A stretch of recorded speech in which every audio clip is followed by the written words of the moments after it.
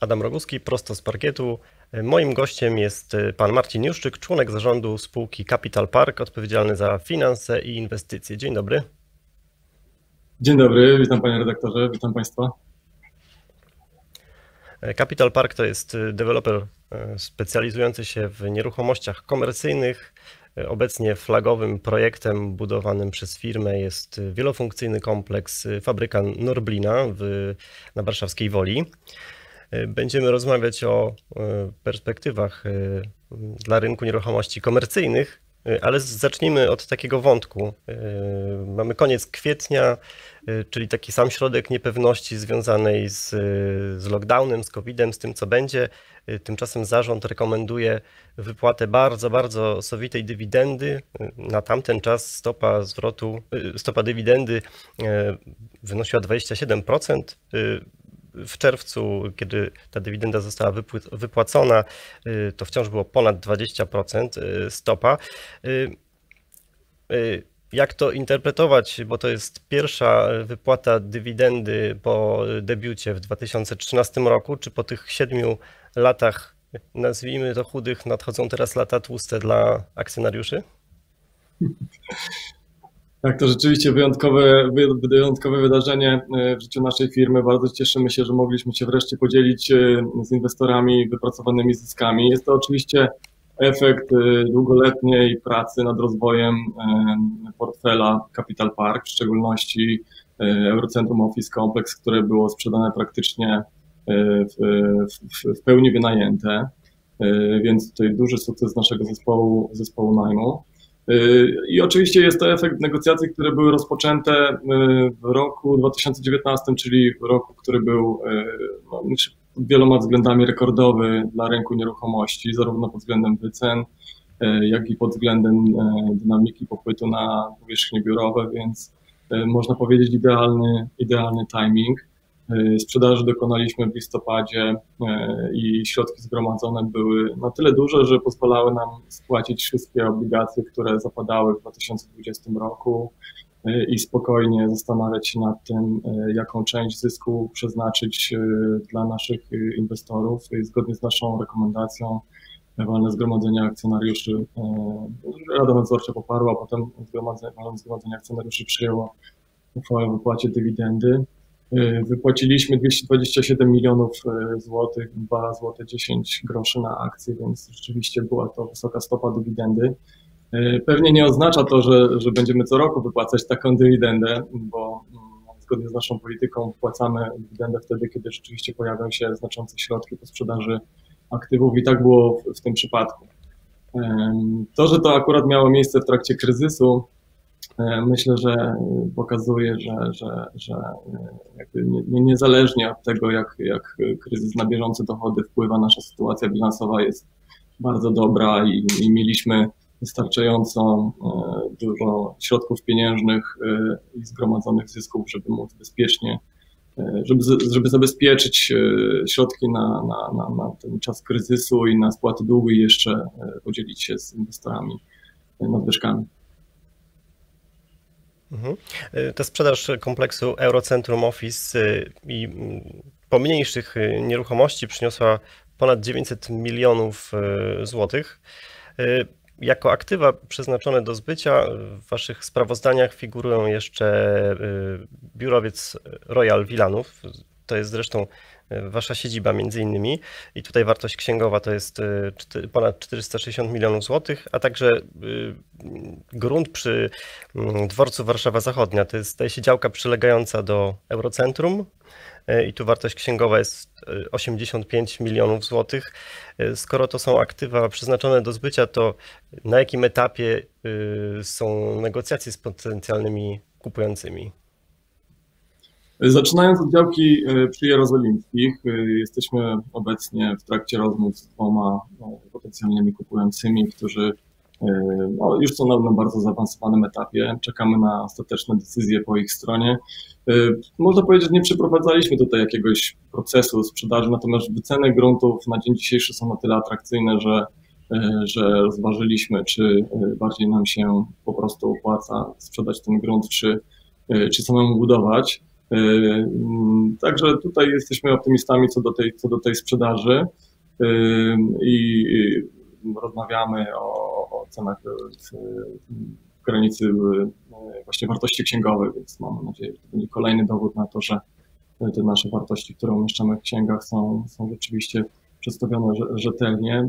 Warto nadmienić, że Eurocentrum sprzedaliśmy z 20%, prawie niemal 20% nadwyżką ponad, wartości, ponad naszą wartość księgową, co było rzeczywiście e, olbrzymim sukcesem. E, I tutaj te e, negocjacje, jeśli chodzi o, o grunt przyległy do Eurocentrum, idą, idą bardzo dobrze. Jeśli chodzi o Royal Villanów, natomiast też nie rozpoczynaliśmy oficjalnie procesu sprzedaży. Natomiast spotkaliśmy inwestora, który był zainteresowany zakupem tej nieruchomości.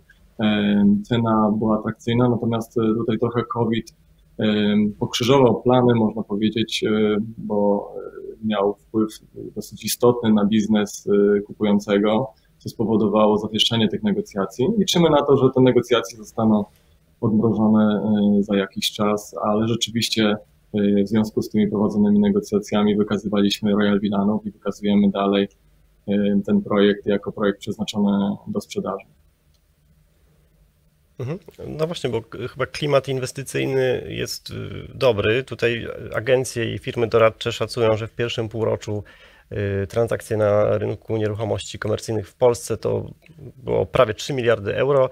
Zależnie od tego, kto liczy, to było jedno z lepszych, bądź też nawet rekordowe pierwsze półrocze w historii rynku. Czy to jest właśnie trochę tak, że mm, te transakcje były zamykane y, siłą pewnego rozpędu, bo za nami rekordowy 2019 rok? Czy właśnie mogą nas czekać y, jakieś opóźnienia y, wynikające między innymi z tego, że nie można podróżować, kupujący nie mogą oglądać aktywów? Jak ten rok może wypaść transakcyjnie? E, to rzeczywiście jest, jest efekt e, rozpędu. E, to, co działo się w zeszłym roku, było mm, no, na absolutnie rekordowym poziomie i, i transakcje, które były w negocjacjach, były domykane w pierwszym półroczu. Trzeba też brać pod uwagę, że w tej kwocie jest również przejęcie mm, pakietu kontrolnego Block Center, w związku z czym rzeczywiście te kwoty są bardzo duże. Tak jak my to widzimy, szereg transakcji zostało zawieszonych, y, negocjacje są utrudnione. Utrudnione jest oczywiście oglądanie nieruchomości, utrudnione jest podróżowanie, czy właściwie niemożliwe przez zagranicznych y, inwestorów, w związku z czym na pewno będzie to miało wpływ na wolumen transakcji. Pewnie on będzie widoczny y, w drugim półroczu. Natomiast nie można powiedzieć, żeby zupełnie rynek zamarł. Jest, jest, jest, jest dynamika i ludzie powoli wracają do, do do tych transakcji. Pierwsze miesiące pandemii, no to oczywiście był praktycznie całkowity przestój. E, parę transakcji, o których słyszałem, które się wydarzyły siłą rozpędu, e, zostały zamknięte po zaoferowaniu dodatkowego dyskonta, w związku z czym e, zachęciło to kupujących do tego, żeby wykonać ekstra wysiłek i, i, i te transakcje domknąć. Myślę, że będzie efekt widoczny. Natomiast nie będzie on tak głęboki, żeby tutaj jakoś załamywać ręce. E, myślę, że rynek szybko wróci do, do, do formy. E, nieruchomości są bardzo atrakcyjnym segmentem, szczególnie e, w, teraz w czasie, kiedy mamy rekordowo niskie stopy procentowe i w zasadzie brakuje jakichś sensownych, bezpiecznych inwestycji, w które można by było ulokować kapitał. A polski rynek jest dojrzały i nawet niektórzy inwestorzy, wielu, wiele inwestorów to de facto ostrzy sobie e, przysłowiowo mówiąc zęby na transakcje okazyjne. Jest dosyć trudno znaleźć się na polskim rynku, nawet pomimo pandemii i widać, że te wyceny się dosyć e, dobrze trzymają. E, sami właściwie oglądaliśmy projekt w Gdańsku, który wydawało się, że można przejąć dosyć, dosyć po atrakcyjnej cenie. Potem się okazało, że jest dwóch czy trzech innych kupujących, którzy którzy byli skłonni zaoferować cenę niewiele różniącą się od wycen przedcovidowych. Więc myślę, że te też, jeśli chodzi o wyceny, ten spadek nie będzie bardzo głęboki, wolumen trochę ucierpi, ale rynek szybko wróci do formy. Mhm. E, a jaki jest, jeśli w ogóle, wpływ y, pandemii na atrakcyjność tego produktu? Jakim jest Royal Villanów? Y, jaki tam jest poziom najmu? my słyszymy najgłośniej o konfliktach na linii najemcy-właściciele, o, o czynsze, o przyszłą współpracę w przypadku nieruchomości handlowych. A jak to jest w przypadku nieruchomości biurowych i konkretnie Royal Villanów?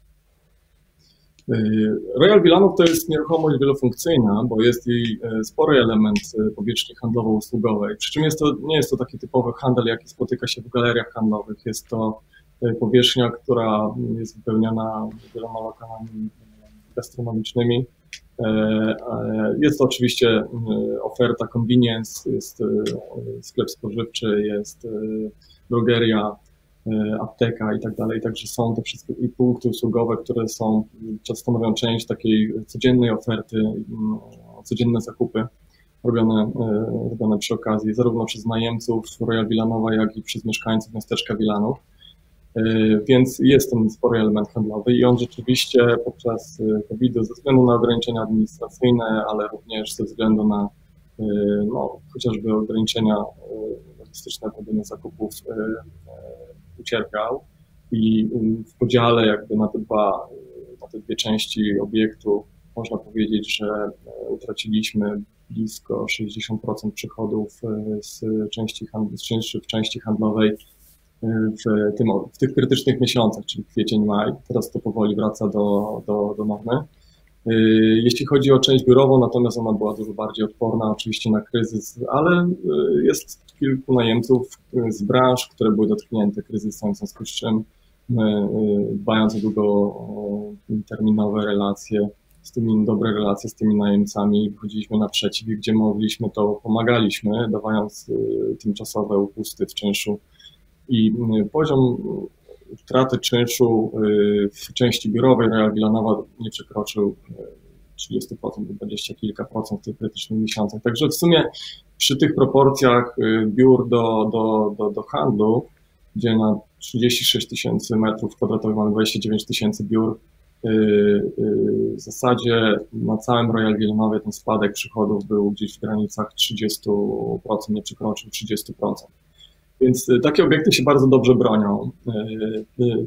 Zadziwiające jest to, chociaż w zasadzie jak się zastanowić, no to, no to może rzeczywiście nie ma się czemu tak bardzo dziwić, ale zrobiliśmy sobie takie turne po mieście i, i podczas gdy de facto Royal Villanów żyje już normalnym życiem, można powiedzieć, ogródki są pełne, pełne ludzi i tereny rekreacyjne w zasadzie można powiedzieć wypełnione rodzinami z dziećmi. Oczywiście z zachowaniem wszystkich zasad bezpieczeństwa, aczkolwiek mimo wszystko widać, że ten to, to, to, to życie najemców i ten obiekt wrócił do, do, do życia, to y, nasza wizyta chociażby na Mokotowie pokazała, że tam jeszcze te biura są pozamykane i można powiedzieć, że wiatr, wiatr kula po piętrach, kantyny zamknięte, na parterze nikogo nie ma, więc ten czas powrotu w takich tradycyjnych dzielnicach biurowych jest dłuższy centrum już trochę więcej życia widać, aczkolwiek też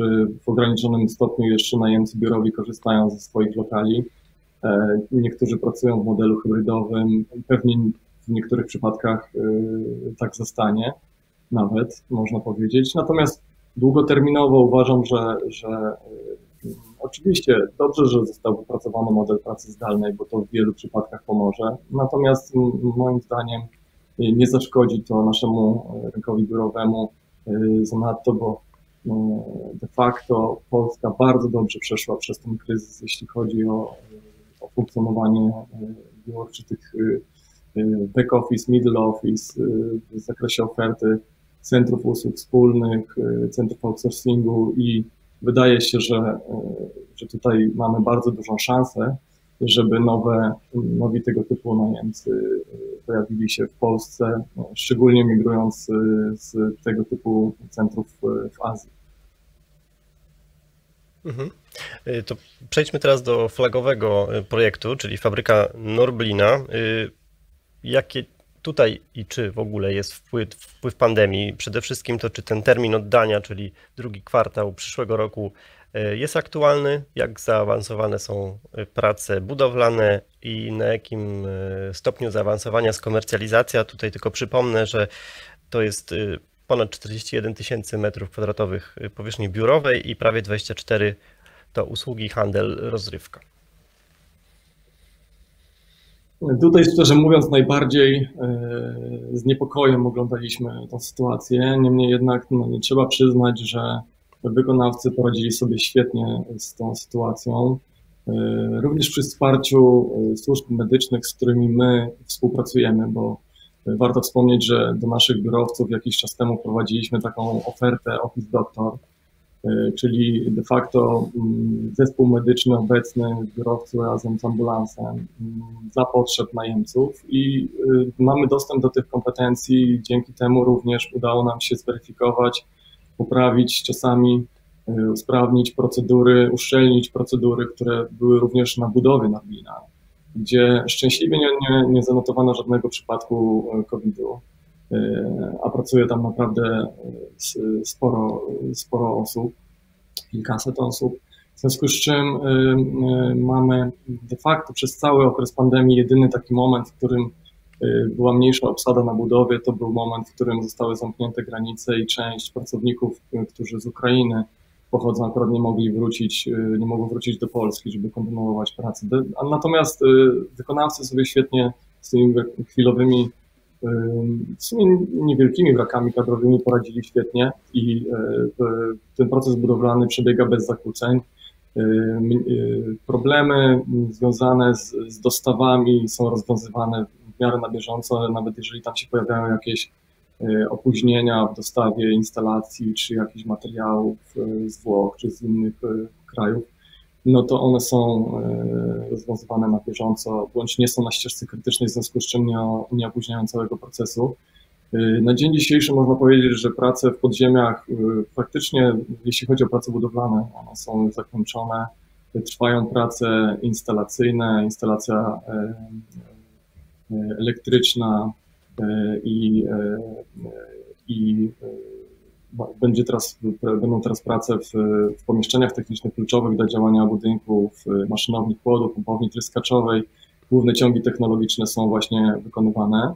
Jeśli chodzi o nadziemie, mamy właściwie zakończoną y, budowę, te prace konstrukcyjne dotyczące budynku A, czyli tego od strony zachodniej w zasadzie zostały zakończone i budynek osiągnął docelową wysokość. Jeśli chodzi o budynek B, Jesteśmy na poziomie e, siódmym i tutaj te prace konstrukcyjne docelowa wysokość zostanie e, osiągnięta końca września. E, w budynku A już trwają prace nad elewacjami, montowane są elewacje, oczywiście prace nad kluczowymi instalacjami w budynkach, więc te prace można powiedzieć idą, idą bez zakłóceń. Również prace restauratorskie w obiektach zabytkowych idą bez większych zakłóceń. W międzyczasie udało nam się mhm. e, przywieźć na teren Norblina e, maszyny po, e, po odnawianiu, maszyny, które stanowiły część ciągu technologicznego dawnej fabryki Norblina i będą wyeksponowane na terenie fabryki, zostały już, zostały już przywiezione.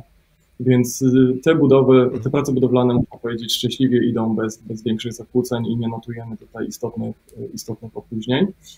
Jeśli chodzi o poziom komercjalizacji, można powiedzieć, że y, w części biurowej y, negocjacje, które zostały rozpoczęte wcześniej, zakończyły się sukcesem i na dzisiaj możemy się pochwalić y, poziomem wynajmu 70% w części biurowej, co na rok przed zakończeniem budowy jest świetnym wynikiem.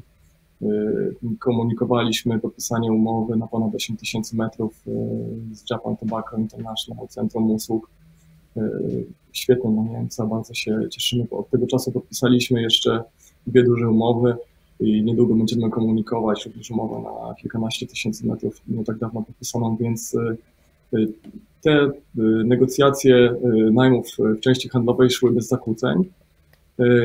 Natomiast oczywiście COVID miał wpływ na, na tą część handlową. Na dzisiaj y, w zasadzie można powiedzieć, że mamy już najemców na mm, wszystkie obiekty gastronomiczne y, i tutaj y, mamy 5700 metrów właściwie w restauracjach i ofercie gastronomicznej, z czego największą część, 3200 metrów zajmuje food hall, gdzie będzie około 20 konceptów jedzeniowych. Jest oczywiście biobazar na powierzchni 1800 metrów, który zaczął działalność w Morglinie, potem funkcjonował na Mokotowie, a i po, po otwarciu Morglina z powrotem wróci na swoje pierwotne miejsce. Y, jest y, podpisana umowa z kinem, także poziom najmu w tej części handlowo-usługowej jest, y, wynosi około 55%. I niestety, oczywiście kryzys miał wpływ na to, szczególnie na część fashion w naszym przypadku. Nie byliśmy w stanie zamknąć negocjacji rozpoczętych. Ci najemcy trochę swoją ekspansję wstrzymali i dopiero powoli teraz odmrażają się negocjacje i, i dopiero wracamy do tematu. Więc jeśli chodzi o to, musimy trochę nadgonić tutaj kryzys miał, miał, miał wpływ. Natomiast cały projekt wygląda bardzo dobrze. Poziom najmu, jeśli weźmiemy pod uwagę to, że to jest rok przed zakończeniem budowy, jest jest, jest, jest bardzo wysoki, więc y, cieszymy się z tego sukcesu. Mhm. W portfelu macie jeszcze m.in. galerię handlową Zaspa w Gdańsku i hotel Hampton by Hilton y, na gdańskiej Starówce. Jakie są plany wobec y, tych nieruchomości? Czy one też będą sprzedawane?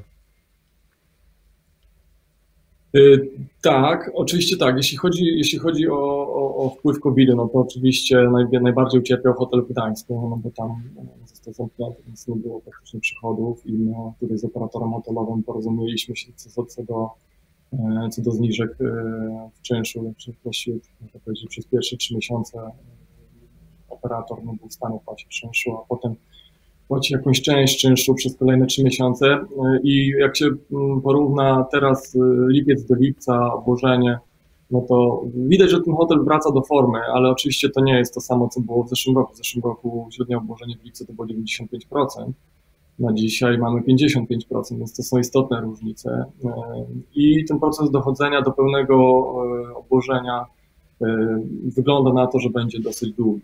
Więc, więc hotel hotel e, e, wraca do formy, ale oczywiście to zajmie trochę czasu.